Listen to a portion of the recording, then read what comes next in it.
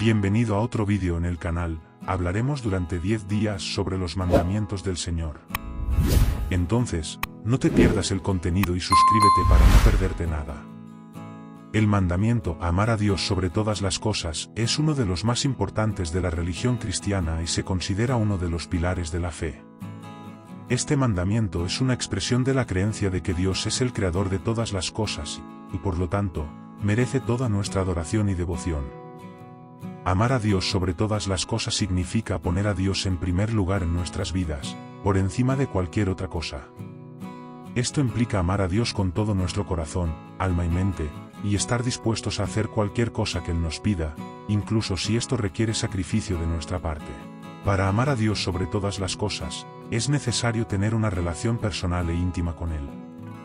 Esto incluye la oración, la lectura de la Biblia, la participación en la iglesia y la comunión con otros cristianos. También es importante reconocer que amar a Dios no es solo una cuestión de palabras, sino también de acciones. Debemos vivir nuestras vidas de acuerdo con la voluntad de Dios, siguiendo sus mandamientos y buscando siempre su orientación.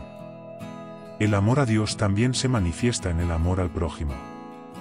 Como cristianos, estamos llamados a amar y cuidar de los demás como Dios nos ama y cuida a nosotros.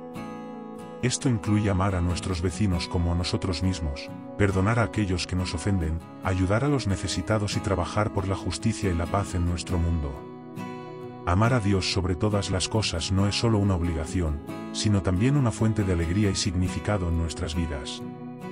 Cuando amamos a Dios por encima de todo, somos capaces de experimentar la presencia y el poder de Dios en nuestras vidas de maneras profundamente transformadoras. Amando a Dios, descubrimos la verdadera felicidad y realización que solo Él puede ofrecer. Amar a Dios sobre todas las cosas es un compromiso diario que requiere esfuerzo y dedicación. Pero al final de nuestras vidas, podremos mirar hacia atrás y ver que amar a Dios fue la elección más sabia y gratificante que jamás hayamos hecho. Cuando lleguemos al final de nuestra jornada, podremos escuchar las palabras de Dios acogiéndonos en su amor eterno, sabiendo que amamos y fuimos amados por Él por encima de todo.